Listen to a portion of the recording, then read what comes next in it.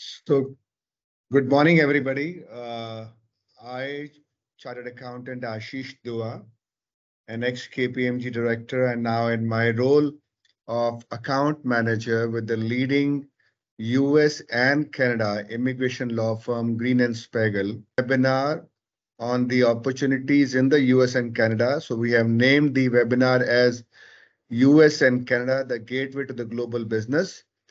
And today, the special focus is going to be on the automobile sector, a very important sector. I hope everybody is able to hear my voice. Uh, in this webinar today, I like to welcome special invitee, Mr. Sohinder Gill, the Chief Executive Officer for Hero Electric, a person, a company big time into the electric vehicle, which is a very important subject. And we will have shortly have some few questions to be discussed with Mr. Sohinder Singh Gill. I am joined in this webinar by senior leadership of Green and Spiegel. I would like to welcome managing partner, Mr. Stephen Green, senior corporate lawyer partner and specializing in hugely into the work uh, related visas, uh, Madam Cristina, and a very young and dynamic senior lawyer, Mr. Benjamin Green, to this conference. So welcome to you all. And again, it's going to be a very lovely and knowledgeable session. I would like to take this opportunity to also thank the marketing and communication team of Green and Spiegel, who have very intelligently put together the agenda and the scope for this webinar. So thanks to Esther and Eve for doing an excellent job. Without wasting too much of time, and as the agenda is being displayed right now, we would have excellent sessions by Mr. Stephen Green, Cristina, and Benjamin. And towards we'll have the open Q&A session also. But to start with, let me open the session with an interactive discussion with respected Mr. Sohinder Singh Gill, the CEO for Hero Electric Vehicles. Mr. Sohinder Singh Gill, if you can hear my voice and can enable your camera, that would be an honor, sir. Yes, Ashish, I'm very much able to hear you and my camera is on. Can you look at? I let me, sir, try finding you out because uh, it's always a pleasure and honor to see you and also work with you. so, I can see my own pic here. Your camera's beautiful. No problem. No Great. Problem. Thank you so much. Okay. So, Mr. Gill, as always, it's a pleasure and honor to learn from you so I will take liberties of asking some few questions. And uh, though I'm a chartered accountant, but still consider myself as a layman in the industry you lead. So, Mr. Gill, you know, in the recent times, with all these changes happening in the automobile sector, where we hear about terms like electric vehicle, hydrogen fuel cell, hybrid, so I would love to know, and I'm sure the participants would love to know, what is the long-term future? You know, where does the things will finally settle down? So over to you, Mr. Gill, on this question. Thank you, Ashish, and uh, thank you, audience and my peers. Well, I would begin with saying that it is just beginning of the change. And uh, so many things are going to unfold in near future. It's just the start. And in that beginning, we are also already seeing a lot of disruption.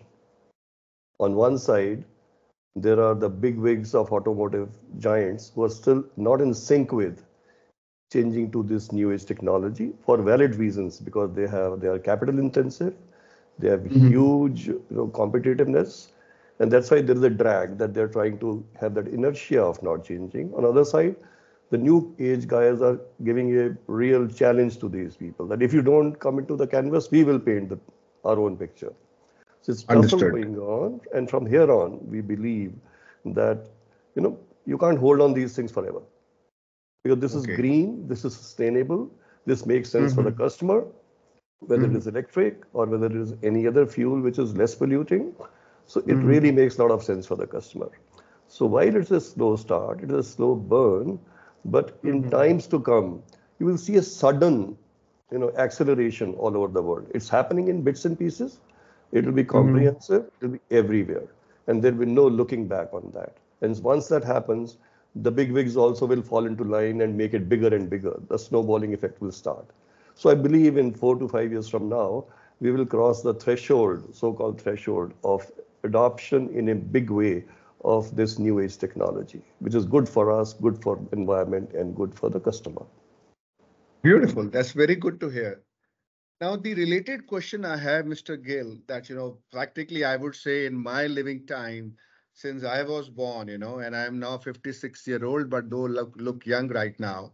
So I have seen, you know, huge stakeholders involved in the automobile sector, whether it is the spare part dealers, whether it is the gas station, the OEM manufacturers, you know, or the main vehicle manufacturers. And for years and years and decades, they have been producing one technology, you know, product as we call it, you know. Now, with this landslide change in the automobile sector and automobile sector, you know, one of the huge employers globally and in India and Canada, and I'm sure in other places too. So, are people or the infrastructure ready for this change now?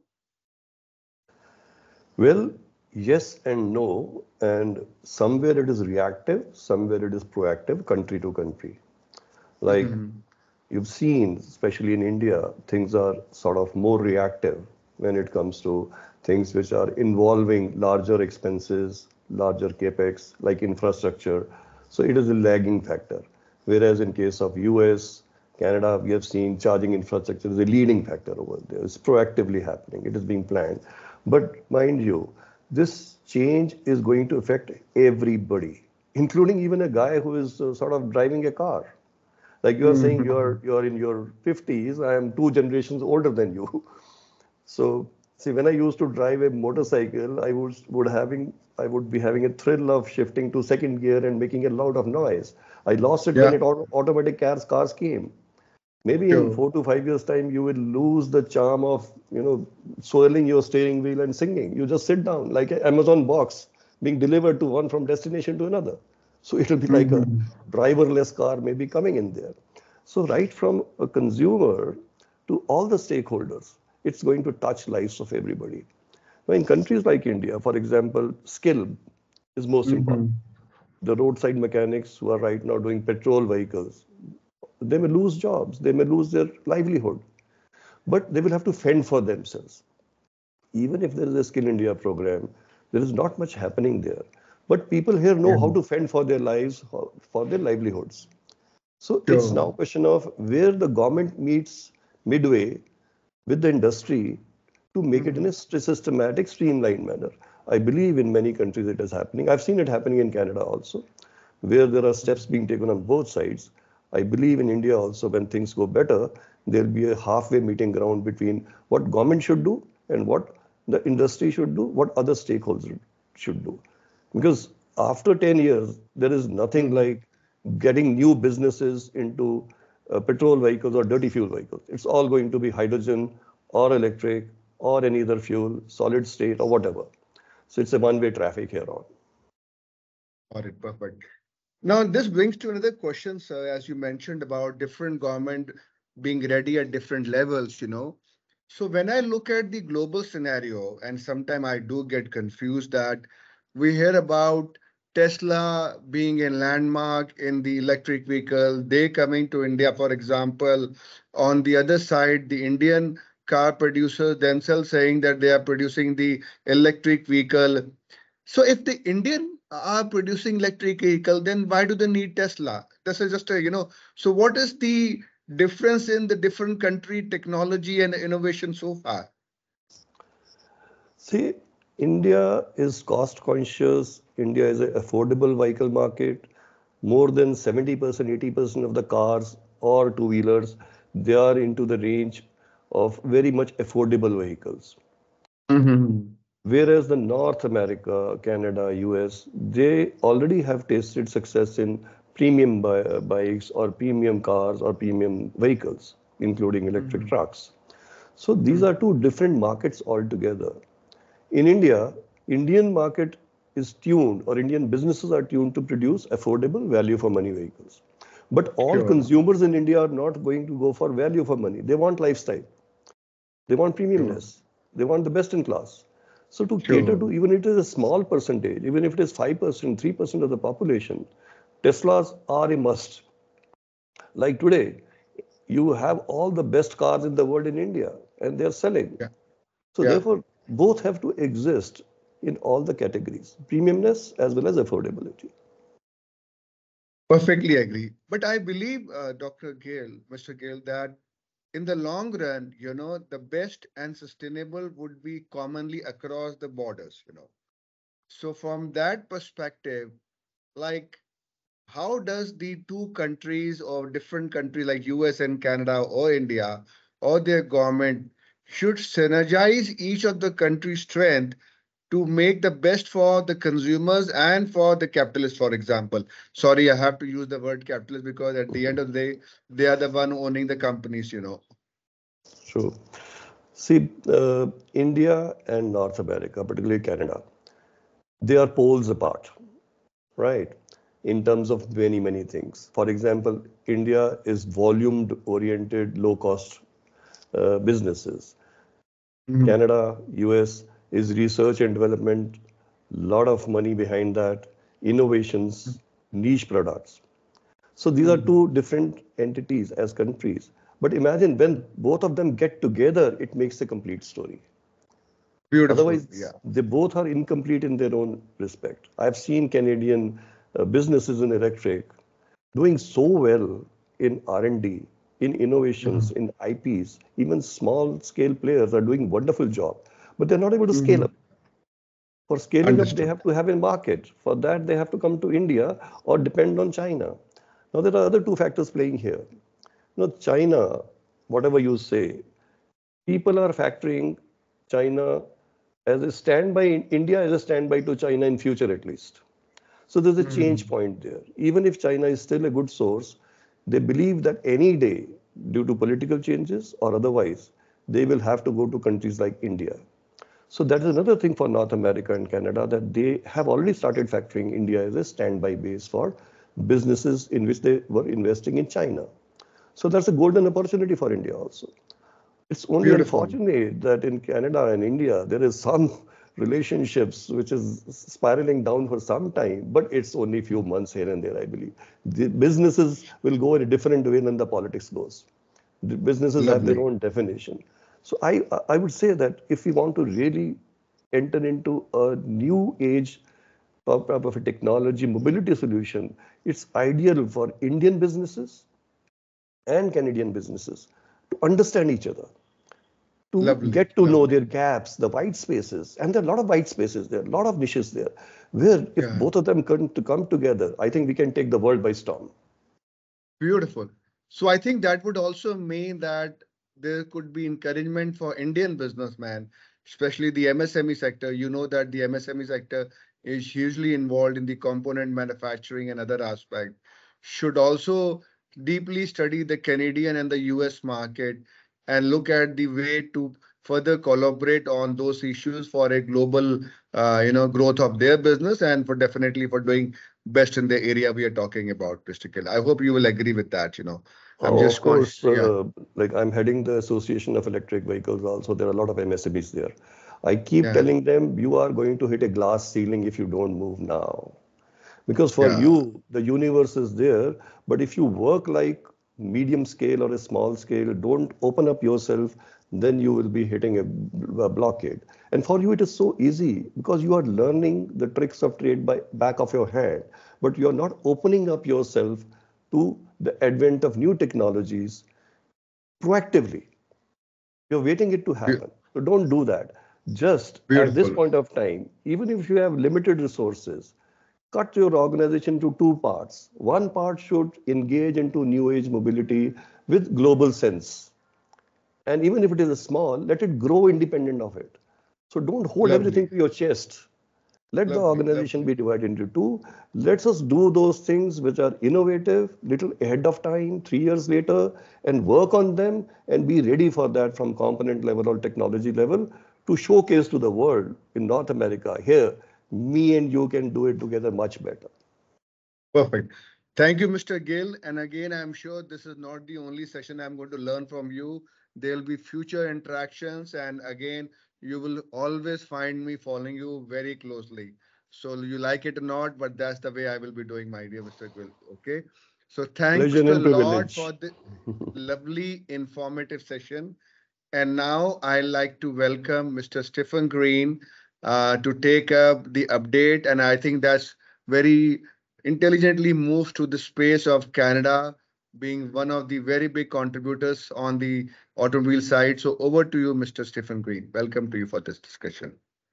Good afternoon, Ashish, and uh, thank you so much, uh, Sohinder, with respect to your insight into the industry. Uh, As you've indicated, the electric vehicle and battery plants are very, very important to the Canadian economy and to the government.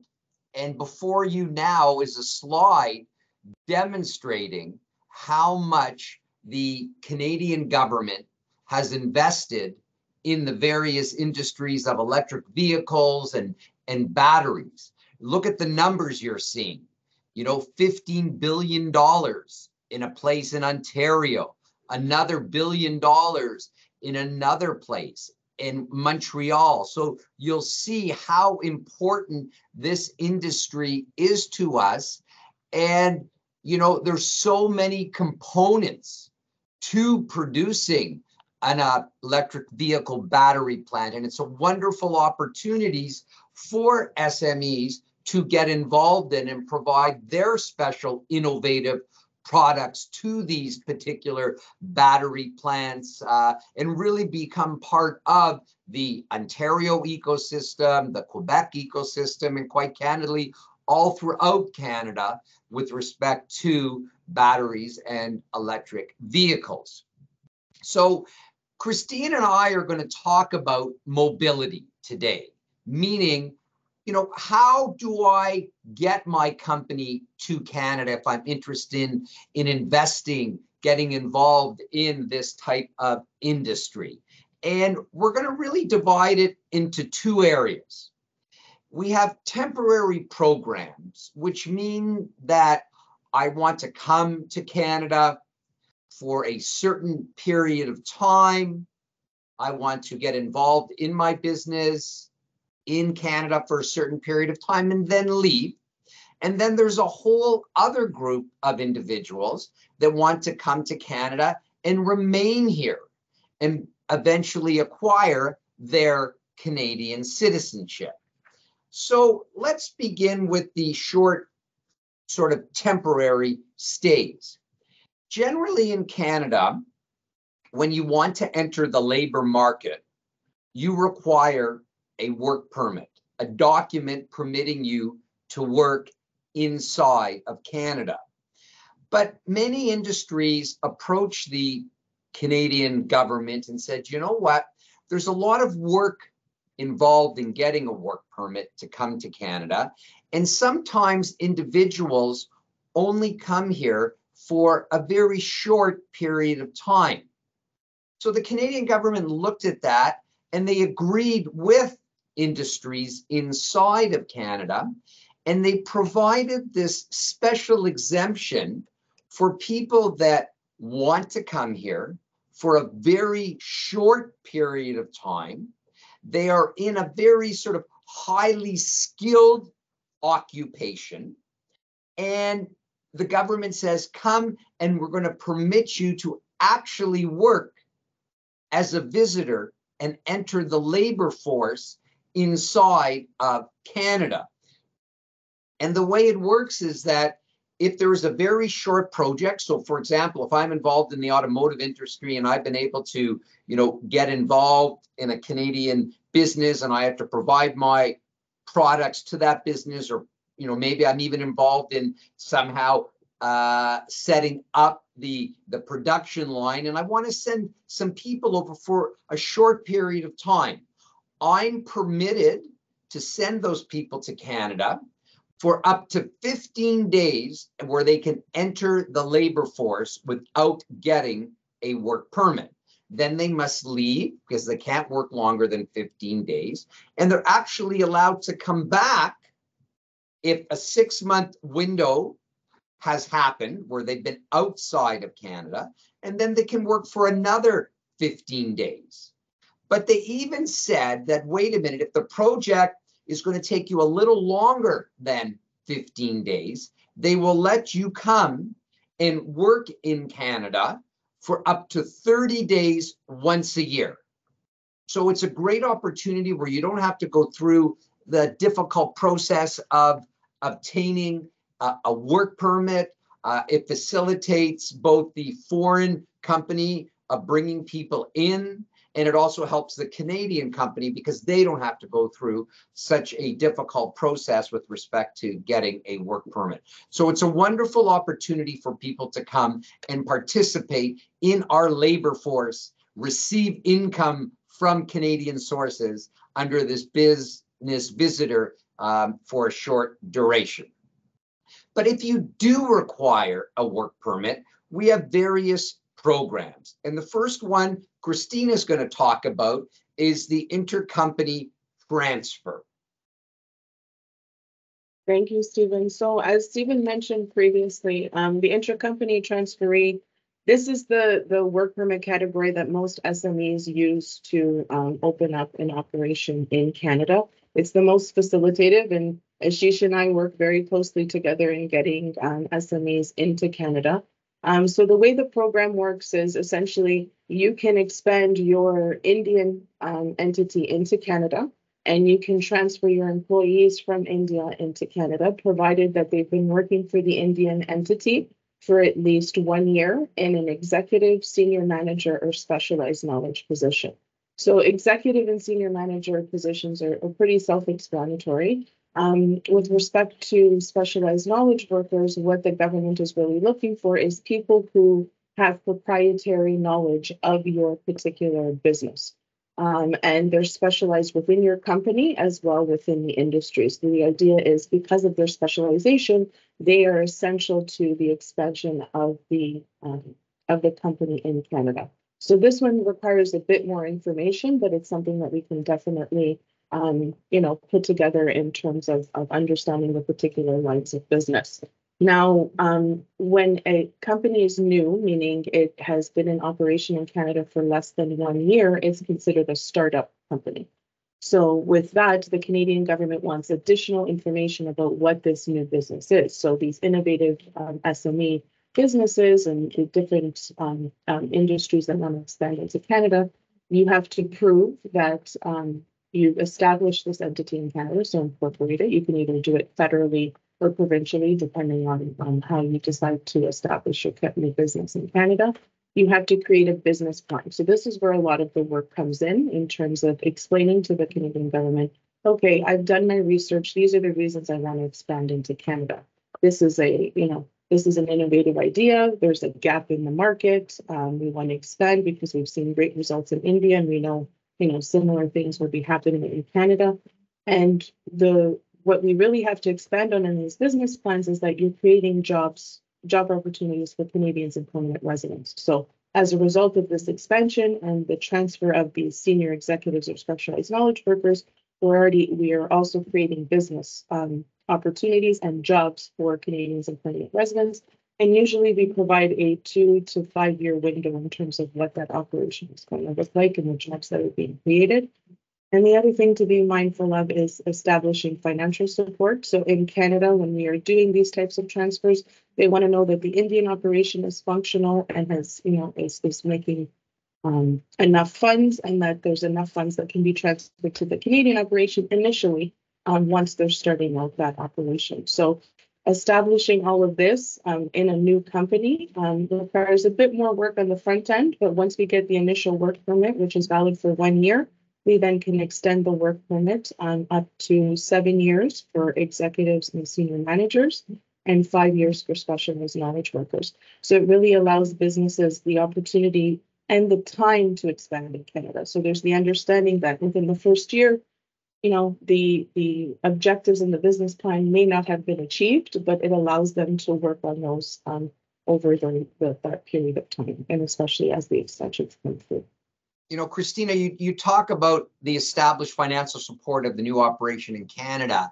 And a lot of times, you know, there's there's advantages for doing work outside of Canada because of the salary ranges. Because in Canada, our salaries, you know, are quite high for skilled workers. Can you comment a little bit about if you are transferring someone, for example, from India to Canada, a little bit about the salary? Like, can they earn the same salary they're earning in India if they come to Canada, especially with specialized knowledge, that type of stuff? Yeah, so in Canada, the Canadian government has established something that they call prevailing wage. So depending on the position and where in Canada the individual will, be working, they do have to earn a particular salary. So specifically with respect to specialized knowledge workers, they must meet that that requirement from the government. So um, when we're talking about specialized knowledge, that floor or the, the, the prevailing wage must be met but if you're transferring someone that has additional, um, you know, years of experience, or you've established that, you know, they're, they're 15 years with the company and they're a star employee and they're the only ones that know this particular methodology or tool, then that prevailing wage would have to be commensurate to their years of experience. So that's an absolute requirement with these types of applications. So that's why it's important to establish the financial ability of the Indian company and also to demonstrate that the Canadian operation will have enough funds in Canada to support the salary for the first year for that individual. So usually there's no perfect number, but it's to understand they can cover their salary plus the the startup costs for that particular business. Right. So the Canadian government doesn't look at you know a low salary too favorable you can't be in a position to you know bring in individuals because the labor costs are less on those people so they have to meet whatever the proper wage level is inside of Canada. That's correct. And then as we go on to Stephen, you'll talk about the LMIAs, that requirement follows through as well. Great. So let's talk about LMIAs. There's a lot of information out there about LMIAs, and what it really means is the following. The Canadian government has stated that before a person can come and work in Canada. They generally have to test the labor market unless they fall into special categories like the intercompany transfer, which uh, Cristina talked about. And by testing the Canadian labor market, what they mean is that employers have to go out into Canada and they have to attempt to recruit a Canadian or a permanent resident to try to fill that job that they're looking for. And only once they've attempted to recruit within the Canadian market are they then able to offer a job to someone that's not a permanent resident or a Canadian citizen. And that's the regular stream. And generally, that process for foreign nationals that are living in India from starting to test the Canadian labor market until the actual issuance of a work permit can be anywhere between four to six months. And it's important to also understand that if you are going through this process of attempting to get a work permit with an LMIA, it's a two step process because two departments are involved in the processing of this particular type of work permit. One department makes sure that the employer has tested the Canadian labor market. And once they are satisfied, they actually issue the LMIA to the company that then permits the foreign national to take that LMIA certificate and then apply for the work permit. But remember that just because a foreign national living abroad gets an LMIA, it doesn't automatically mean they're going to have be eligible for that work permit. They have to satisfy the work permit criteria, meaning will they leave after the work permit is going to expire? Can they do the actual job that they are required to do based on that LMIA? So it's important to understand that with respect to the regular stream of LMIAs. But there's also a very special stream of LMIAs, and it's called the Global Talent Stream. And what happened about hmm, 15 years ago, the Canadian government received a lot of pressure from businesses saying everybody, for example, in a certain industry knows that there aren't enough workers like this inside of Canada. And we really don't need to test the Canadian labor market. And immigration looked at it. Uh, the other department responsible for seeing whether you know Canadians can fill certain jobs also looked at it, and they came to a conclusion that yes, there are certain occupations in Canada that we know there is a shortage of Canadians and permanent residents. And if you look at the next slide with respect to the list, you'll see that a majority of them are involved in the sort of computer area where if you are an employer in Canada and you need certain types of engineers, you need certain types of technicians, then you don't have to test the Canadian labor market, but you enter into an agreement with the Canadian government where you go ahead and say, okay, if you let us bring in this temporary foreign worker, we promise to help the Canadian labor market with training, uh, that type of thing. So it's a public private type of agreement. And again, you have to fall within those types of uh, occupations that are listed here. And if you do apply under this particular program or any program for a work permit or even immigration, it permits you to bring with family members. And what do I mean by family members? Canada permits you to bring along your family if you are legally married to your spouse, if you're in a common law relationship with your spouse, and all of your dependent children under the age of 22. So again, if you get a work permit, you can bring your spouse with you, you can bring your children with you that are under 22. And some of the universities even permit children that are under the age of 22 to pay local university fees if they decide they want to go to school. So that's a very important, uh, you know, point that you get to bring your family to Canada. Now, those individuals that want to stay here on a permanent basis can apply for permanent residence.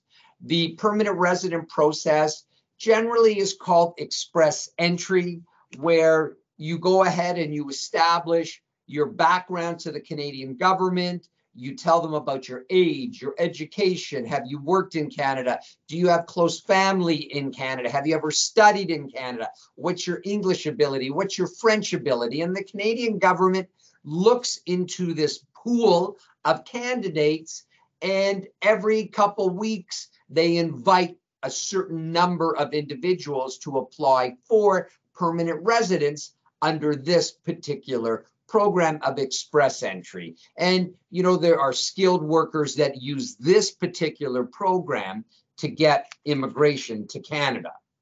And the last sort of permanent resident program that I want to talk about is called the Startup Visa Program. And what that is, is Canada is trying to encourage innovative startups to come to Canada. And they hope that these startups will create Canadian jobs, They hope that these startups will become global and bring even more business into Canada. And what we have with these particular types of immigration programs is that the government has asked the assistance of various organizations that are in the startup world.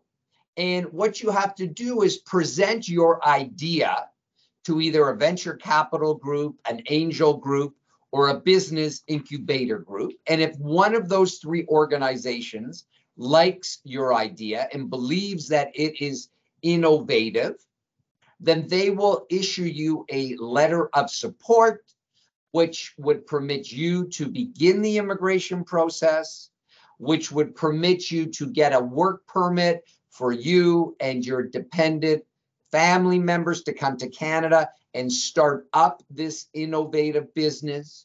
You have to speak English at a basic level of five. And it's important to also understand that the Canadian government a couple days ago announced a major change to this program where they've indicated that these three organizations that will give you a letter of support are only permitted to do 10 applications a year. So certain angel investor groups, and there's quite a lot of them, if you approach them, they will say, you know, we want to look at your startup because they're only allowed to do 10 per year. So there's been a big shift, and we're going to have to see how it will affect the processing of um, applications for permanent residence. So from a Canadian perspective, that's really what you know we're going to talk about today. We'll certainly answer your questions um, at the end of this part. And now I guess we're going to pass it over to Benjamin to talk about US options and expanding into the US market.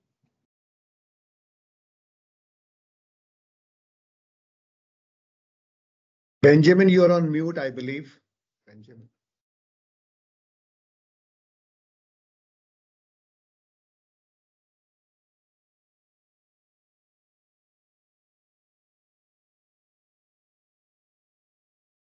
Still on mute. Benjamin.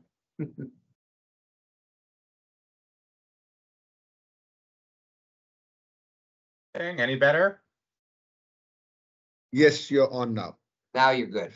Now it's working. Thanks, everyone. So thank you, Stephen, and good afternoon, everyone. When talking about the United States and thinking about the United States, it is very difficult, unlike Canada, to go straight there and start doing business. There's, there's that old John F. Kennedy quote, ask not what your country can do for you, but what you can do for your country many, many work visas into the United States require that, require a commitment made to the United States and require a presence in the United States. The two most popular work visas in the United States are the L1 or the American equivalent of the intracompany transfer that Cristina mentioned, or the H1B, which is done via a lottery. These are very popular visas, and as a result, they're quite difficult to get. The H-1B, for example, sees more almost 1 million people entered into this lottery every single year. And the odds of selection are quite low. Odds of selection are less than 15% on average year over year, which for business people like yourselves is obviously not a predictable outcome. The L1 or the intracompany transferee is a little more stable, provides a little more predictability. But again, you cannot do this without a US entity and a physical US presence. There's a required sort of initial cost and an initial startup structure that must be there in order to start transferring yourselves, transferring your families, and transferring employees into the United States. Um, there are certain visas available to Canadians. There are special programs and special permissions for Canadians that unfortunately are not available for Indian persons. And then these are only short-term visas. Unlike the startup program that Stephen mentioned, you cannot transition so easily towards permanent residence. These are temporary work permits that other programs are necessary to transition. But even before these work permits, the ability to travel to the United States and the ability to enter the United States on an entirely short-term basis is done by their basic visitor visa, a B1 slash 2 visa. I assume several of you attending today have this visa already. This allows you to enter the United States for tourism or for short-term business. When I say short-term business, I mean the ability to go for meetings, to go for planning, to consider investment, to look at different markets, like I mentioned about potentially opening up these US entities, potentially starting up your business in the United States. You can enter and consider these on a US visitor visa. However, first of all, they take a very long time to get if you do not have one already. Uh, we looked and in India right now, it's pacing at almost half of a year from the day you make the appointment to the day you're actually seen. And on top of that, your activities are quite limited. You're limited in time. You can only be in the United States for a short period of time. And on top of that, you cannot do many things that business people like to do. You cannot open a bank account. You cannot really start buying up companies and buying up properties to support yourself on this sort of a visa. You need to be very careful on top of that because of these limitations that you do not cause problems for yourself later on. One of the most common issues we see is someone entering the United States in this status and not wanting to leave.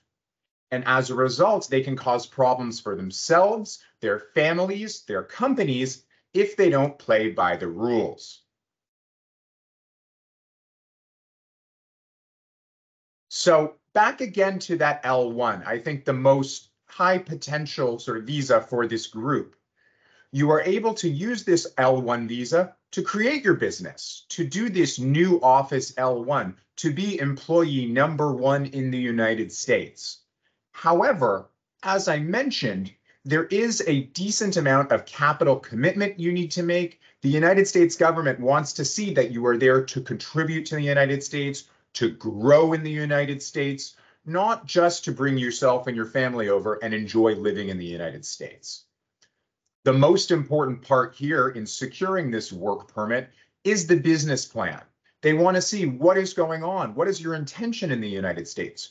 Do you intend to employ Americans? Do you intend to create a factory, grow your business? And careful planning on how you want to structure this business will affect your visa outcome very much. We work with employees and companies every day on this sort of a visa. But because there isn't an established plan, if you are the first employee or the business has not been open or active in the United States, it's very important, again, to think about that business plan. What are your short term goals? What are your long term goals in the United States? And how will your presence there contribute to the country and allow your business to grow. Now, finally, green cards. Um, as I've mentioned previously, everything I've talked about before is a short-term either visitor or work visa. A green card or U.S. permanent residence is indefinite. It, it allows you to stay, live, and work indefinitely. There are two categories with which you can apply for a green card, economic and family. Family class, meaning you are related in some way to a US green card or US citizen. That can be through marriage, but it must be a member of your immediate family. It cannot be your uncle, it cannot be a cousin. But those take a very long time to do all green cards take a very long time to do. The reason is, is because there's a line. Over the United States only issues so many green cards per country per year. Many persons from India have been interested in the United States and applied for green cards to the United States. And as a result, you will hear that the United States categories for green cards for Indians are backlogged. This has been the case for many years. However, the United States, understanding that so many business people from India are waiting for these green cards, have different programs to either support fast tracking an application for a green card through different categories or through allowing you to quote unquote freeze and wait and get a work permit pending the green card coming. As Stephen mentioned for Canada, these green cards can flow to you and your family as well. However, I would note that your children must be under the age of 21 when reaching an application point. Otherwise, they cannot come with you. Now, most of these green card categories require some local employer participation. A very popular way to get a green card for Indian business people is through the EB5 category which means you do not need a US employer. You jump straight to green card. It is a very expensive program, but the benefits are very lucrative in that you go directly to a green card, directly to US permanent residence. All of those limitations and requirements for starting up of a business and investing in the local US economy and supporting American jobs are not required on an EB5 green card. The main factor here is the cost. You cannot expect to get a green card. It is not legal to get an EB5 green card without investing at least $800,000 US into the US economy. There are obviously specific legalities around that investment, but the most popular version here is that 800,000 figure through what's known as a regional center, where the United States certifies certain programs to accept this investment. And in the eyes of the US government, it really creates a win-win. A win for the individual immigrant investor who gets themselves and their families green cards, that immediate US permanent residence, and for the US economy, right, where they fund development, they fund projects in special interest areas. I would note again that although you jump directly to a green card and don't require a work visa, EB5 green cards take a very long time as well. I don't think you can expect to have a green card in your hand for two, three, four, five plus years, just because, again, so many immigrant investors from India have applied that there is a long time to wait.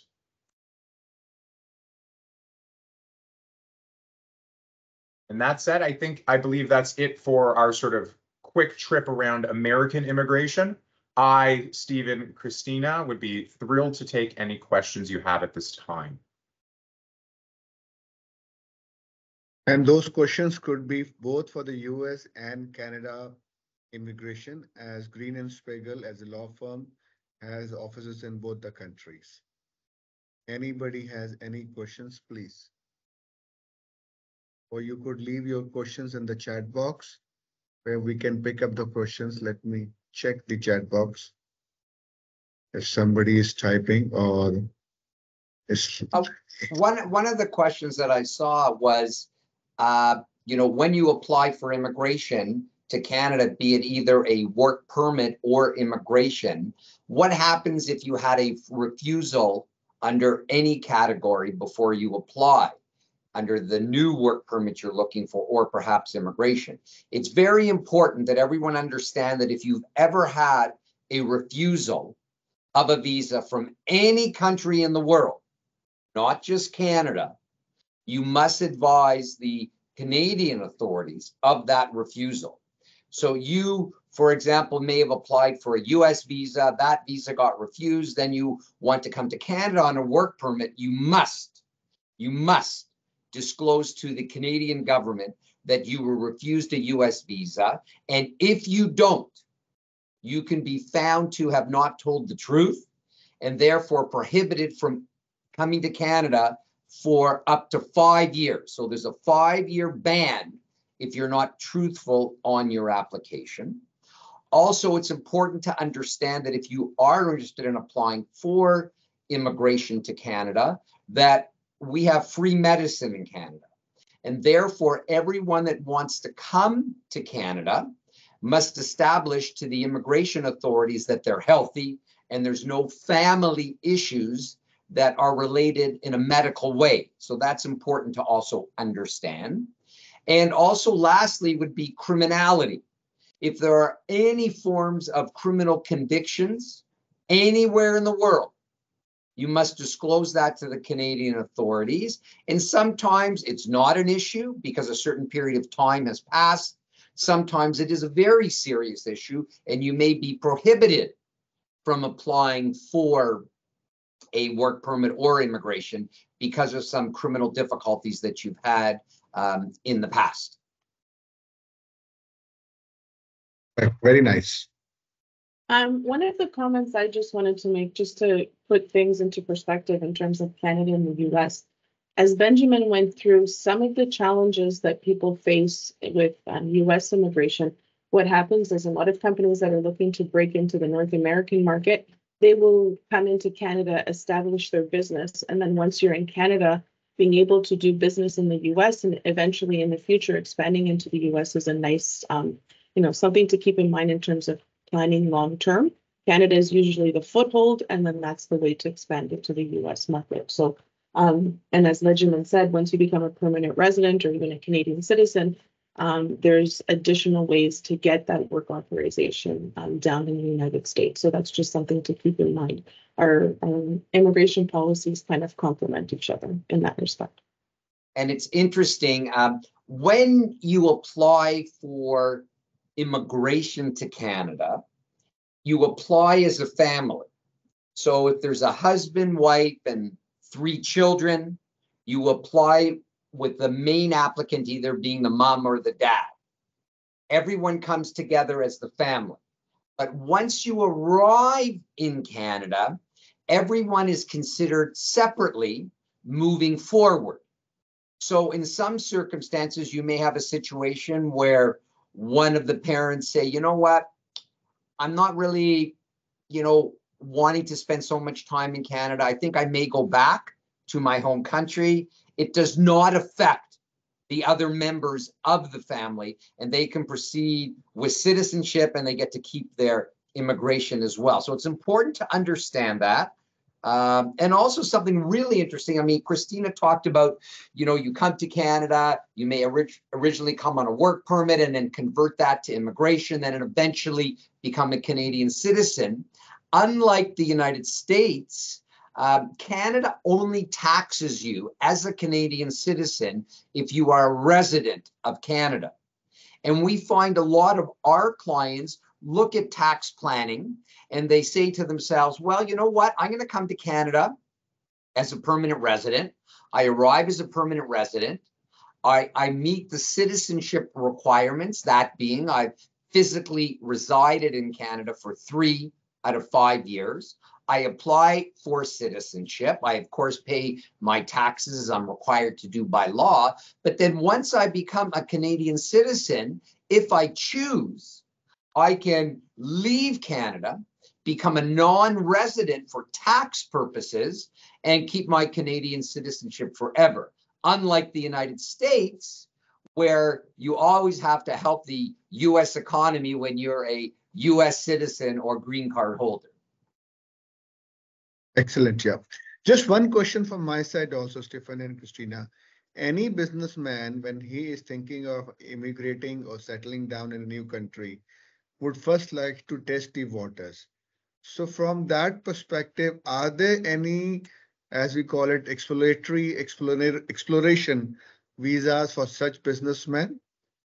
They can just come in for some time, meet the counterparts in the in Canadian geography or in the US geography, and get a comfort feeling before they go uh, commit themselves more into long-term visas.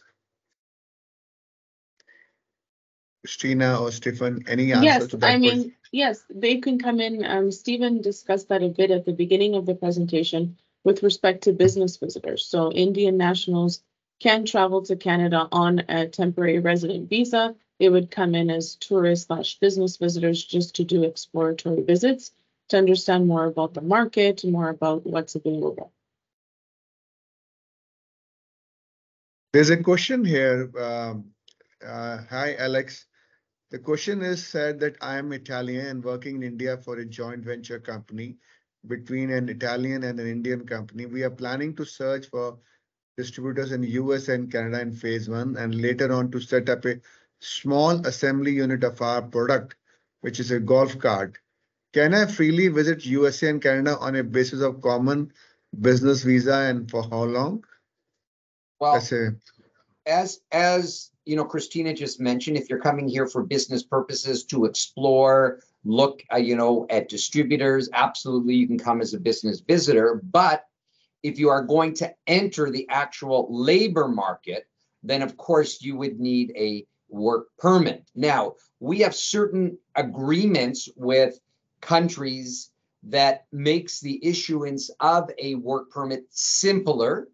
Italy does fall into some of these agreements. We have a special agreement where if you're under the age of either 30 or 35, you can get a special work permit here, open work permit to do what you want if you meet certain criteria. We also have a special agreement between various European countries.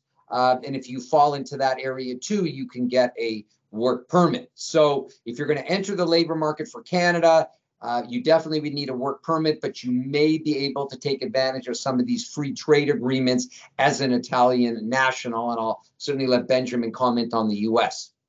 Sure. On the on the American side of things, as as an Italian national, I assume you would have ESTA, sort of their visa waiver, and that allows you to enter for 90 days at a time.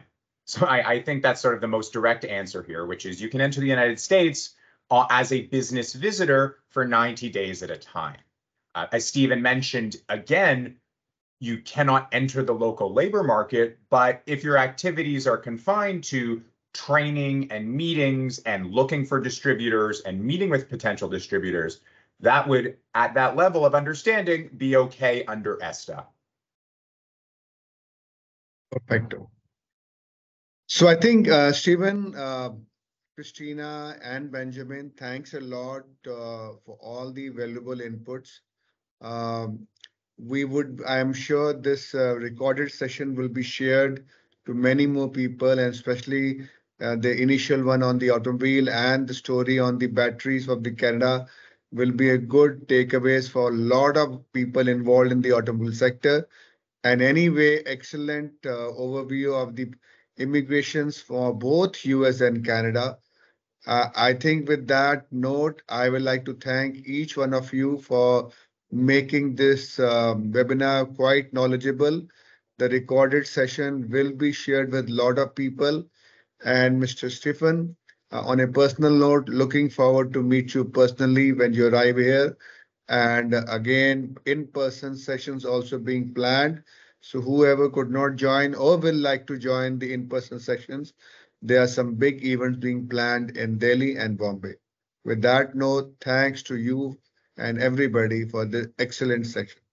With that Thank note, you. Esther and Eve, I would love to formally ask you to close this session now. Well in time.